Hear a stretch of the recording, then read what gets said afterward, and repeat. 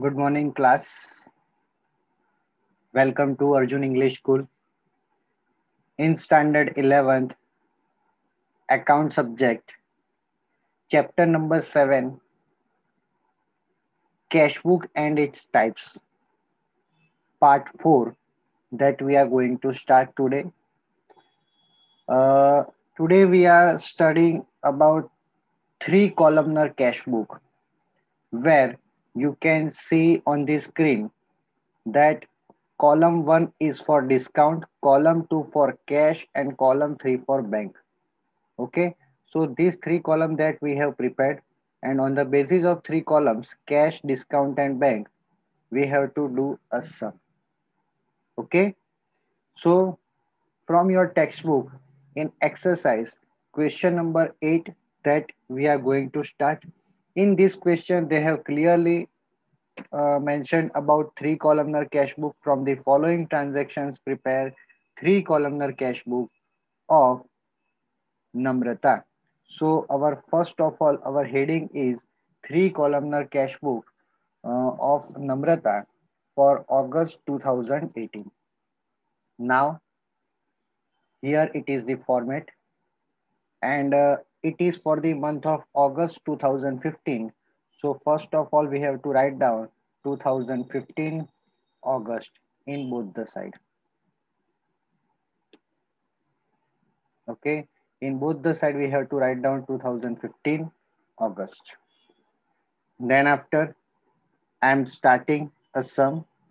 Transaction number one, opening cash balance and opening bank balance the cash balance and bank balance has debit entry. So debit side, I have to write down to balance brought down. And opening cash balance is 7000 and opening bank balance is 6000.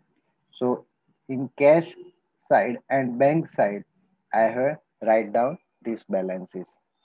Then after cash purchase and cash sales. Here, if we purchase the goods, cash goes out. So on credit side, date is 3. We have to write down by purchase account and credit side in cash column amount is 6000 okay? Then after. Cash sales. By sales it is our income. Cash is comes into the business. So we have to write down on credit side to sales account. And in cash column amount is 7000 then after transaction number 5 rupees 3000 is deposited into the bank. Here we have deposit the cash into the bank. So now it becomes a contra entry on single transactions. There are two entries. Number one, it affects to cash account and it also affects to bank account. Here, if we deposit the cash into the bank, our cash goes out. So on credit side, transaction number 5 and uh, our cash is goes out. So in cash column we have to write down credit side 3000 in the similar way on debit side same date but in bank it is income in bank balance our increase. So in bank column we have to write down 3000 once again our cash is goes out. So on credit side in cash column we have to write down 3000 but it comes into the business. So whatever comes into the business it is debited. So in bank column it is debited. Then after we have to write down the name of opposite person. In cash we have to write down by bank account. And in bank column entry then we have to write down to cash account. And single transactions have two effects. So in ledger folio number, we have to write down C. C stands for contra entry. Okay, this is the contra entry which shows there are two accounts are affected due to a single transaction. There are mainly, it happens when there is a cash deposited into the business in opposite side when cash is withdrawn from the business. Then after transaction number 6 as more funds are required in the business a loan of 5000 is taken from prabhu bearing 8% interest rate. Here in this transaction we have taken a loan from prabhu. So it is our income. So income side on the receipt side, we have to write down amount is 5000. There is no information is given means it is received by way of cash only. So in cash column, we have to write down 5000 and received from to uh, name of person is Prabhu. To uh, percentage is 8%. 8% loan of Prabhu.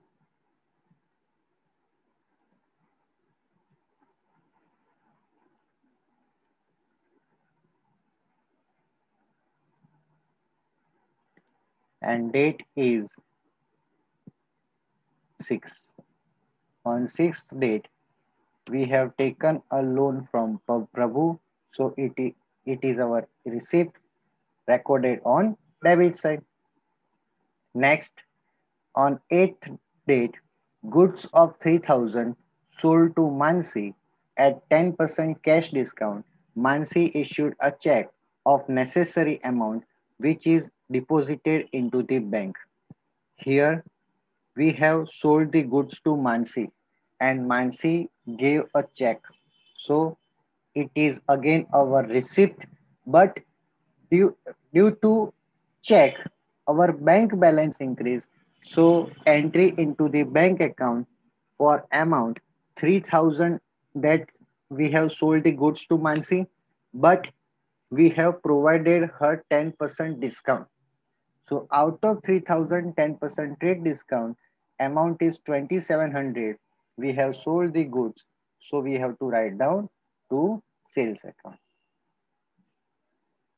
Okay. And the date is 8. On 8th date, we sold the goods to Mansi. Next, point number 10, goods of 7,000 purchased from Dwij and 50% amount is paid immediately by uh, paid by cash. Here we so we purchase the goods.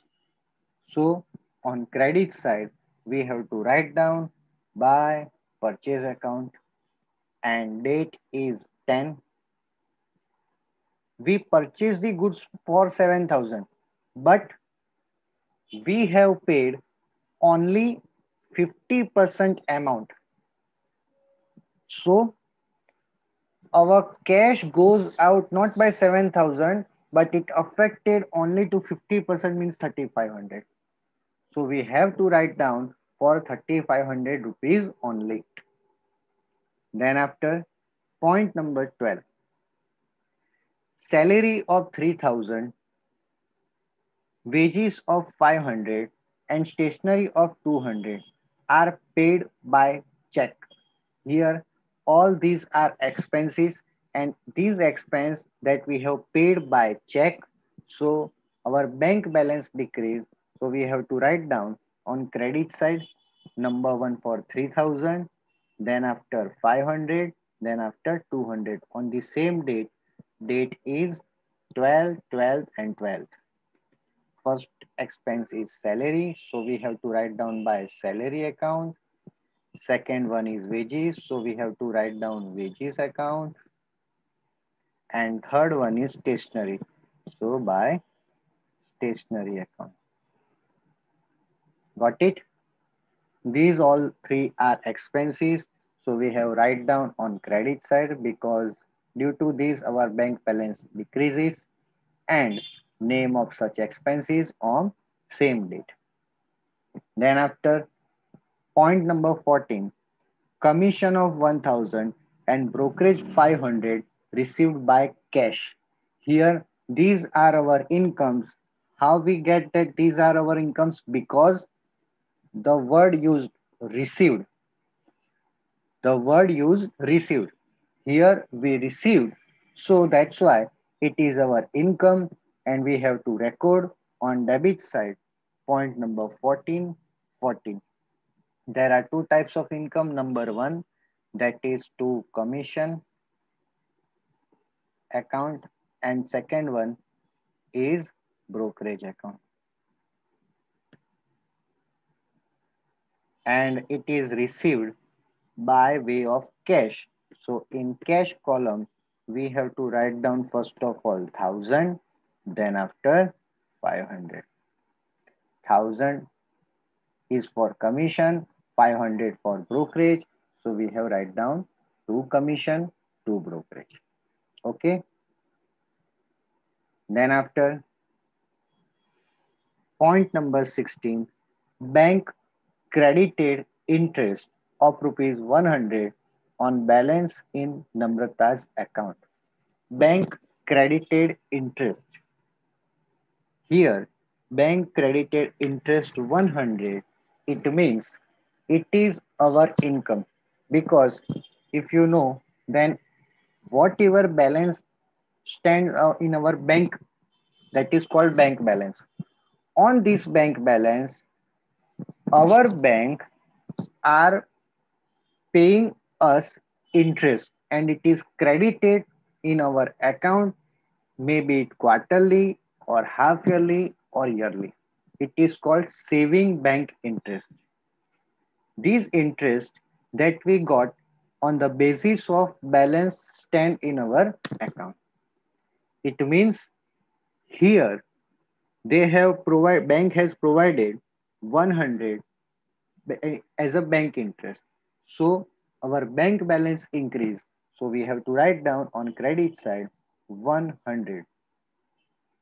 Uh, date is 16 and it is called to bank interest account. Next one, 17. Rupees 2000 withdrawn from bank for the payment of electricity bill. Here we have paid electricity bill and uh, for which uh, 2000 only we have withdrawn from bank. Here we have only and only withdrawn. We have still not paid electricity bill. You have to focus on this point. We have withdrawn 2000 from bank. The purpose is to pay electricity bill, but right now up to date 20, we have not paid electricity bill so it means such cash is with us. So it becomes a contra entry where we have to pass two entry for single transaction. So here on 20th date, 1000, sorry, on 17th date, 2000 withdrawn from bank. If we withdrawn from bank, our bank balance decrease.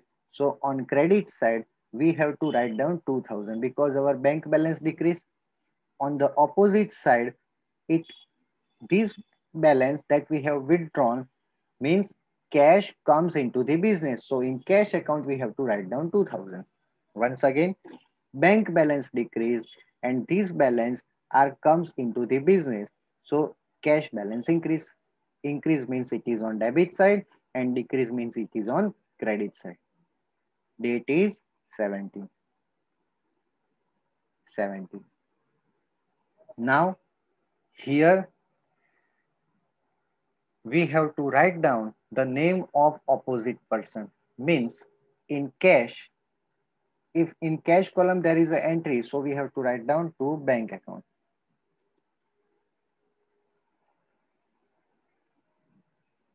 And here in bank column there is an entry, so we have to write down by cash account. And for single transaction, there is two entries. It called a contra entry, C.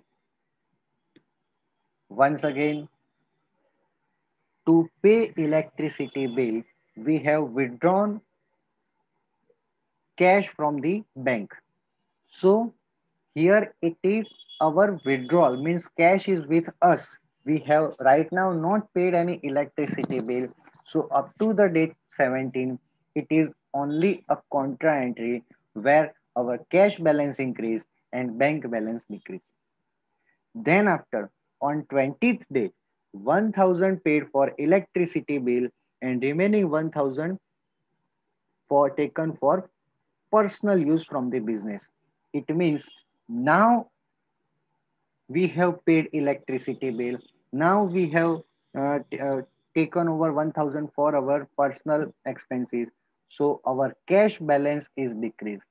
So now on 20th date, there are two entries.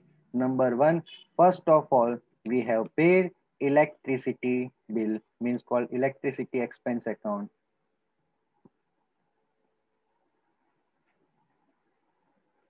And second one, that by drawing account.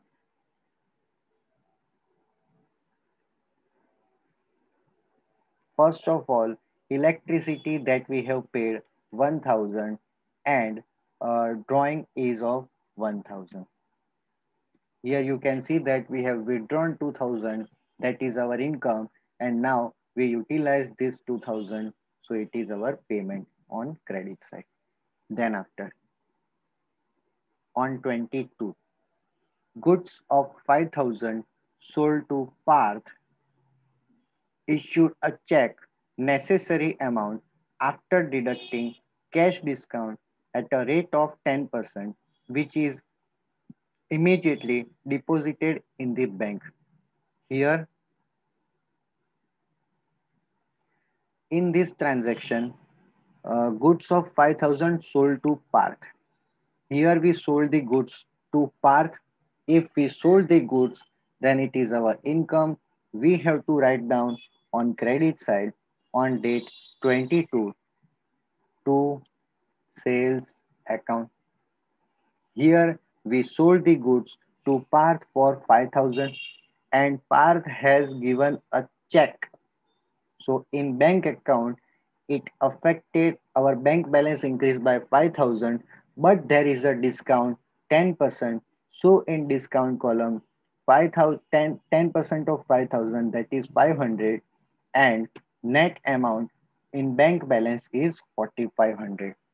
It means here we sold the goods for 5,000 but we gave discount of 500 and finally our bank balance increases by 4500 because 500 is our discount. So we eligible to receive 4500 rupees only. Then after on 25th check issued by Parth is dishonored here we sold the goods to Parth and we received a check of 4500 but this check now it becomes dishonored Dis dishonored matlab bounce check. Practically we heard about a bounce check where our where the issuer uh, issuer person has no enough balance or sign mismatch by whatever reason check got bounced. It is called dishonor means we deposited the check into the bank but bank has not cleared this check due to any reasons so it is called bounce check so now on 25th date whatever entry that we have made, we have to pass opposite entry. Means here, we have to write down the name of person by Parth account and our check got dishonored. So first of all, we have uh, we have increased our bank balance and now our bank balance will decrease by the same amount.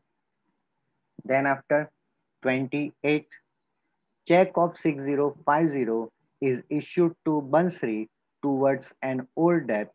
Total debt was 6100. Check issued to Bansri.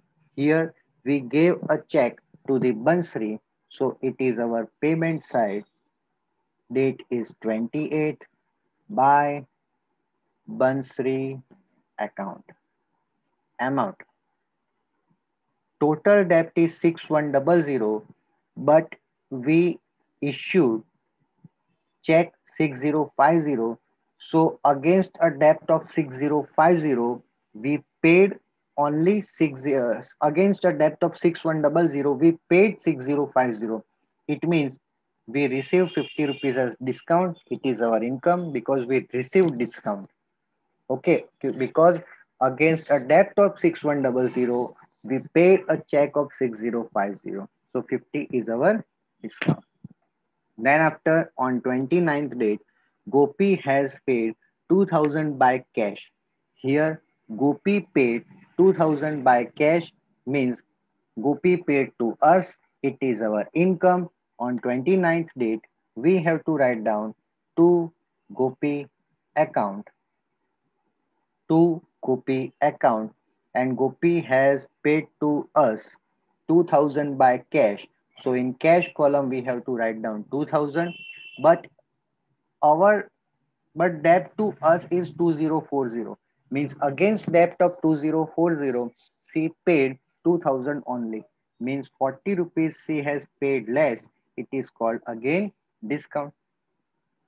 And the most important in examination cash book chapter, these types of adjustment must ask in the every exams. 31. After keeping cash on hand 5000, it means our closing balance that is by balance carried down that on cash balance, closing cash balance 5000 given to us. This is our closing balance which is already given to us on 31st date. Remaining amount is deposited in the bank. What is the remaining amount? So that we have to first of all do a total of cash account.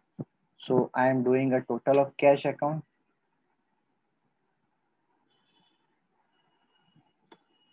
is equals to sum total is 24500 now same total that I have to write over here 24500 and we have to find out a difference so out of 24500 I am deducting all these values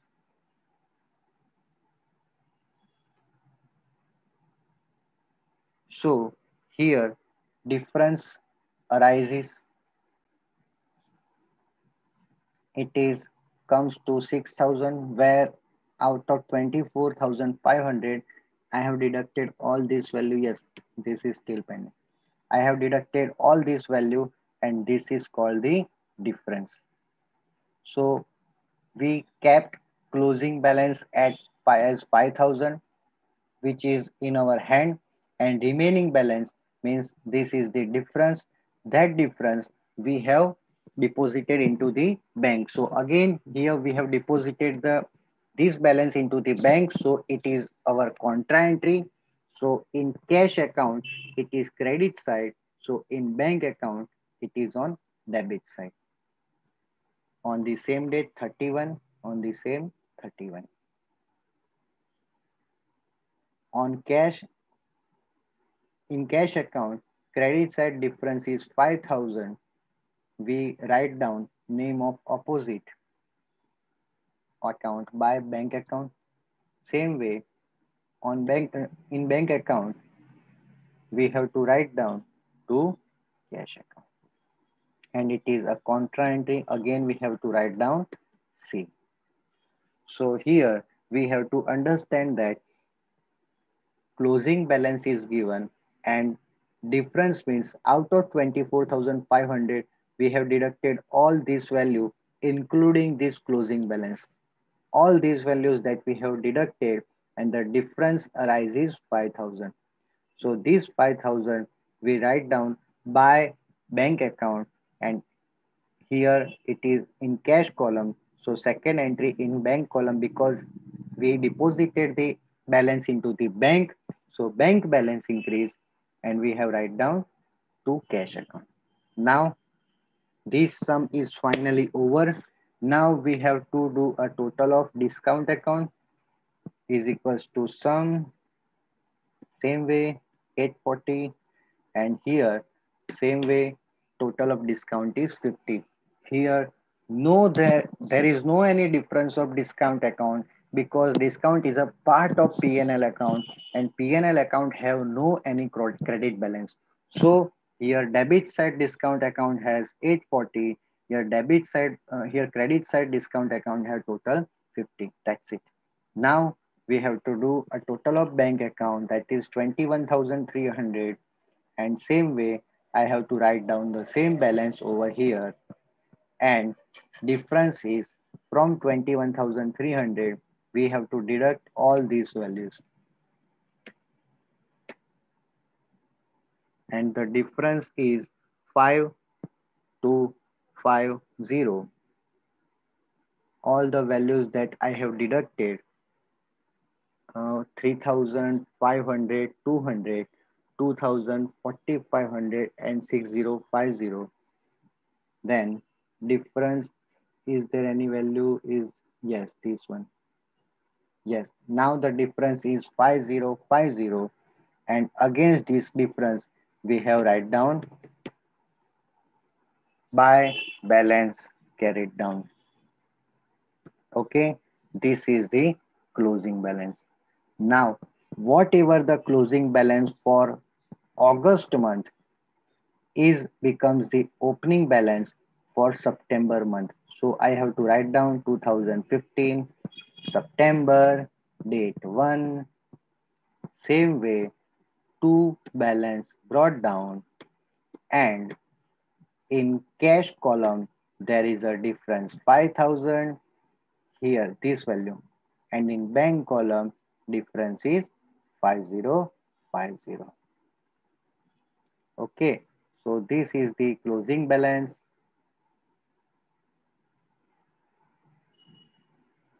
closing balance for the month of August becomes the opening balance for the month of September. Okay, so finally this sum is over and it is of three columnar cash book. We are going to revise these types of sum again, but now onwards it includes the NEFT and RTGS transactions also. So in next session, I'm going to start three columnar cash book based on NEFT and RTGS transaction. So today's session is over. Thank you.